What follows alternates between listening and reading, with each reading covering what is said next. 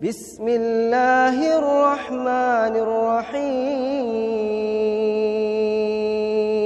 Kang bisa nggak sih kajiannya nggak usah nyepet para jomblo, nggak nyepet karena memotivasi jomblo biar nggak terlalu lama sendiri juga. Sendiri terus kayak uji nyali, serem banget sih. Kalau udah jomblo ya terimain aja. Kenapa harus menghujat? Ya Allah, mudah-mudahan dia diputuskan. Kemudian pacarnya jadi sama aku kan nggak manfaat juga. Jadilah jomblo yang bijaksana, jadilah seorang yang jomblo yang penuh dengan kearifan.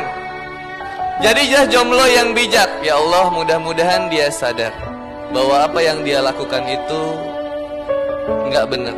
Ya Allah, mudah-mudahan diberikan kesadaran bahwa selama ini dia hanya memakan janji palsu aja.